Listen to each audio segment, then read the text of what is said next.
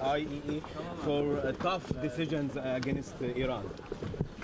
That is not uh, the first time that they're doing that. Always they have been uh, pushing IAEA to act against Iran, Yeah. but so far they have failed. Because uh, we are quite transparent, Yes. we have decided to cooperate fully with the IAEA and international community. Yes. And so far, many issues have been uh, verified. It's very minor issues that still is under consideration, and therefore we do not have any concern.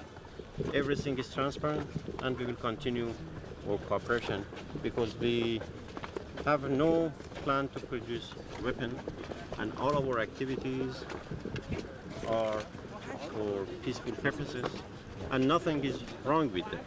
But we insist that this is all right, but we are not to ignore it.